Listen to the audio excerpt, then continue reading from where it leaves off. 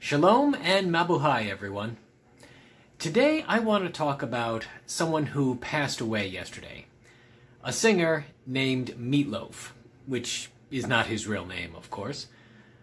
Like many, I was a casual fan of Meatloaf. I enjoyed several of his hits, and I even saw him in concert twice.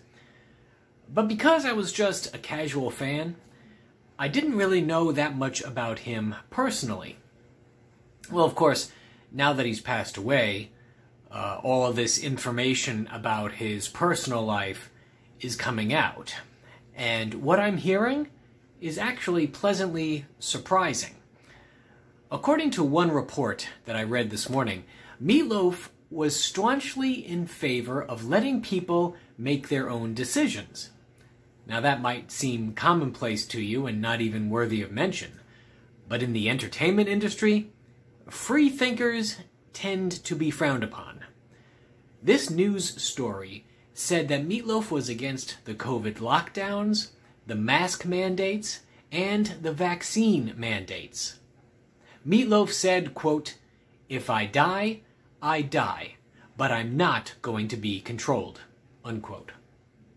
Now, I don't know anything about Meatloaf's relationship to Christ, but this is something for us Christians to remember, especially me. I am calling myself out here. Far too often I am controlled by fear. I make decisions out of fear, or I fail to obey God because of fear. And you know what that leads to?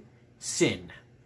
If God tells me to do something, and because I'm afraid I don't do it, that is sin. Now, I haven't fact checked this, but I have heard that the admonishment to not be afraid appears in the Bible 365 times, once for every day of the year. And that's apropos because I need to remind myself of this every single day. One other point I want to make is one of Meatloaf's biggest hits was a song called I Would Do Anything for Love. It came out in the 1990s, and, and no doubt you've heard it on the radio. And this song came out during a time in my life where I was terminally single.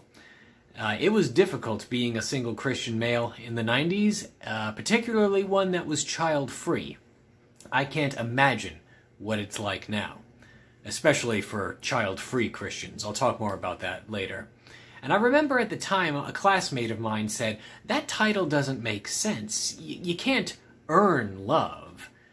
Well, agree to disagree on that one, but as a single male, I could identify with that song. One particular line resonated with me I'm lonely. It's all I'm qualified to be. Maybe you can identify with that sentiment as well. I know for those who are seeking a romantic relationship, being told that God already loves you, especially by somebody who's already married, just doesn't quite do it for you. And look, I get it. I've been there. You can ignore this for now, you probably will anyway, but please don't forget it. Even if you don't act on this information right away, can I please just ask you to keep it in the back of your mind? God offers unconditional love. The love of God is the only unconditional love that there is. Keep that in mind. Thank you all again for watching. Maraming salamat para the support, and may God bless you.